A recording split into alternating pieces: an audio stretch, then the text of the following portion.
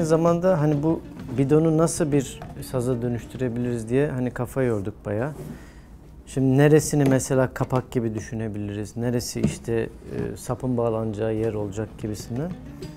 Biraz e, benim yapımcı bir arkadaşımla, daha deneyimli bir arkadaşımla kafa yorduk biraz.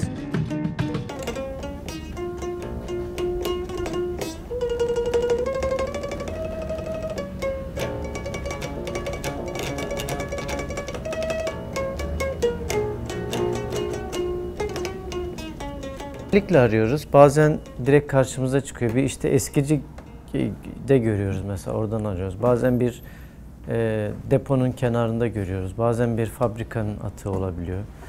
Ben doğada da çok geziyorum. Bazen doğada bulduğumuz şeyler oluyor. E, bazen kendi atıklarımız oluyor ya da bir arkadaşımızın atıkları oluyor.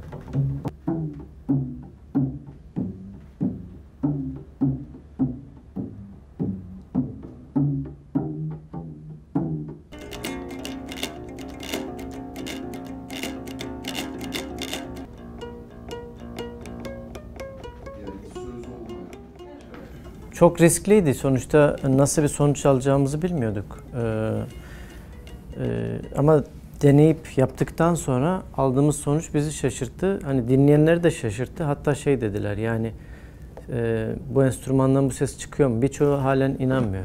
Yani canlı dinlemedikten sonra. Konser verince mesela şaşırdılar.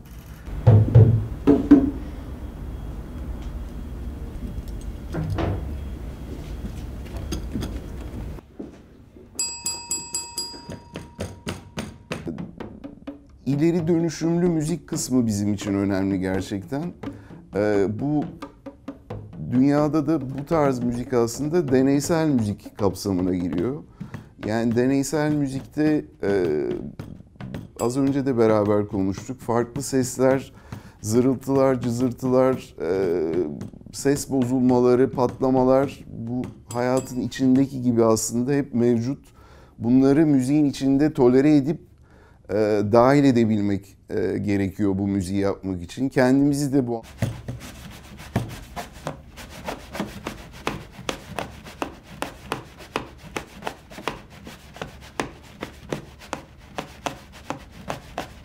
e, doğal kaynaklarımızın tükendiği noktasında çok önemli işaretler almaya başladık. Hem küresel ısınmayla ilgili hem denizin kirliliği, müsilaj e, felaketini yaşadık e, yakın bir zamanda. Birebir şahit olduk bunlara artık toplum olarak da.